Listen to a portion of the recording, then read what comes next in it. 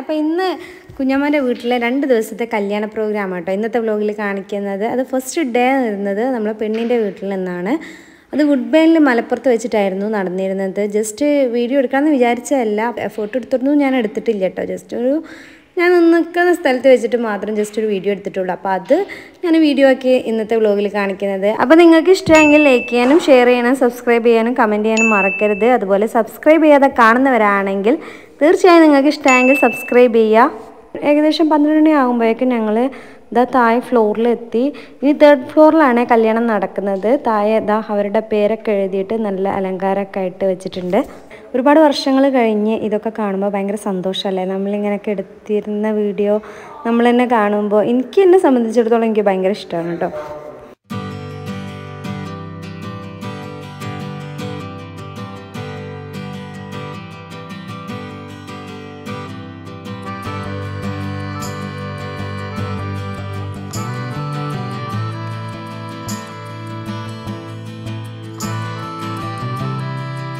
ചെന്ന് ഉടനെ മണവാട്ടി ഇതാ ഉള്ളിലേക്ക് കയറാൻ നിൽക്കുന്നുണ്ട്. അവിടെ ഭയങ്കരമായിട്ട് ക്രൗഡായി തുടങ്ങി. പിന്നെ പുറത്ത് നല്ല ഇളനീർ ജ്യൂസും പൈനാപ്പിൾ ജ്യൂസൊക്കെ ആയിട്ട് ഉണ്ടായിരുന്നു. നല്ല ടേസ്റ്റ് ഉണ്ടായിരുന്നു.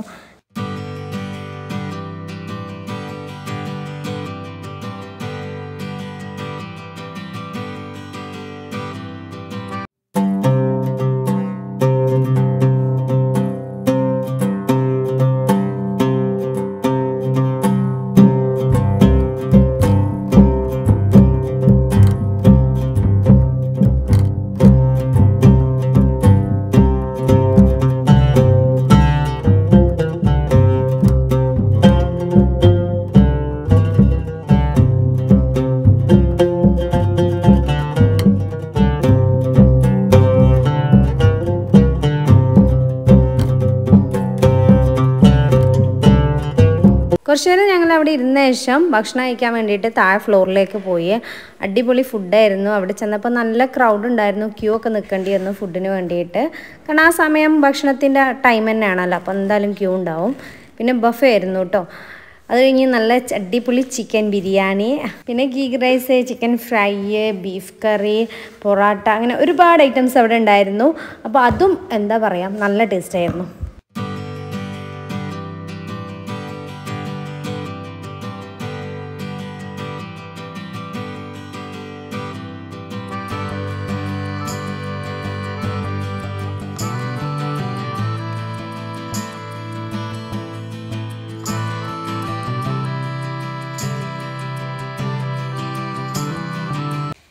ഞാനിതാ ബിരിയാണി എടുത്തു പൊറോട്ട എടുത്തു ചിക്കൻ ഫ്രൈ എടുത്തു. എനിക്ക് ബിരിയാണി ഭയങ്കര ഇഷ്ടമായി അതിന്റെ അപ്പുറം പൊറോട്ടയും ബീഫ് കറി അടിപൊളിയായിരുന്നു ഒന്നും പറയാനില്ലേ. അതൊന്നും കൂടെ കിടക്കാച്ചായിരുന്നു കേട്ടോ പിന്നെ നൈനു ഇതാ അവിടെ ഇരുന്ന് ഭക്ഷണം കഴിക്കുന്നു. ഇതൊക്കെ കഴിഞ്ഞ് ഞങ്ങൾ കഴുകി കഴുകി പുറത്തേക്ക് വന്നപ്പോൾ അവിടെ ഉണ്ടായിരുന്നു നല്ല അടിപൊളി ഫ്രൂട്ട് സലാഡും നല്ല വല്ല ഐസ്ക്രീമും നമ്മുടെ ദാ ഗുലാബ് ജാമും. എനിക്ക് ഭയങ്കര ഇഷ്ടമുള്ള സംഭവമാണ് കേട്ടോ ഗുലാബ് ജാമ്. ഒരു പീസ് ഗുലാബ് ജാമും ഐസ്ക്രീമും കൂട്ടി കഴിക്കാൻ വേണ്ടിയിട്ട് പ്രത്യേക ടേസ്റ്റാണ് അപ്പോൾ ട്രൈ ചെയ്യാത്തവരുണ്ടെങ്കിൽ ഒന്ന് ട്രൈ ചെയ്ത് നോക്കൊണ്ടു ഭക്ഷണം കഴിച്ച് ഞങ്ങൾ ഹാളിലേക്ക് തന്നെ വന്നു.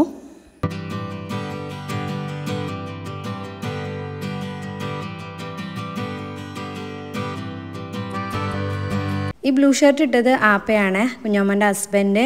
അവരുടെ രണ്ടാമത്തെ മോളാണ് ഫിനു.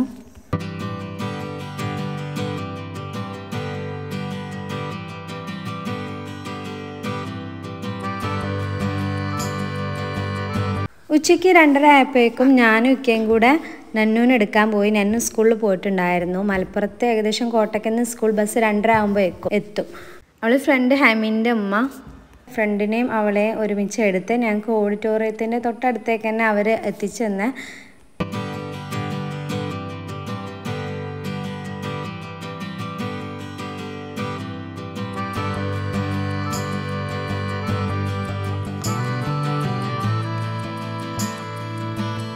കാറിന് ഡ്രസ്സൊക്കെ ചേഞ്ച് ചെയ്ത് അവളെ ഇട്ട് ഫുഡ് കഴിക്കാൻ വേണ്ടിയിട്ട് പോയി. അപ്പോഴേക്ക് തിരക്കൊക്കെ കഴിഞ്ഞിട്ടുണ്ടായിരുന്നു. ഏകദേശം മൂന്ന് മണിയൊക്കെ ആയില്ലേ.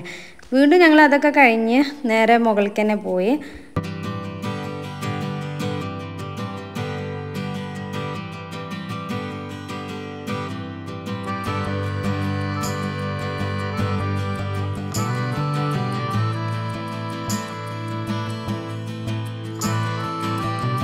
ഇതാണ് രണ്ട് വീട്ടുകാരുടെ ഉമ്മ ഇതാണ് ഫിനുവിന്റെ ഹസ്ബൻഡിന്റെ ഫാമിലി കേട്ടോ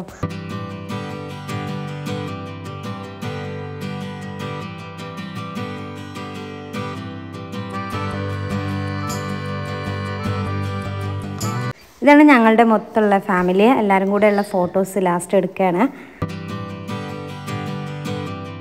ആപ്പയുടെ കുഞ്ഞാമ്മന്റെ ഫാമിലിയാണ് അവർ നാല് മക്കളാണ് ഉള്ളത് കേട്ടോ പിന്നെ ഉമ്മയും ഉപ്പയും ഉണ്ട് അവരെ. ശേഷം എന്താ ഒരു മൂന്നര മണിക്ക് നമ്മൾ അവിടെ നിന്ന് ഇറങ്ങി വീട്ടിലേക്ക്.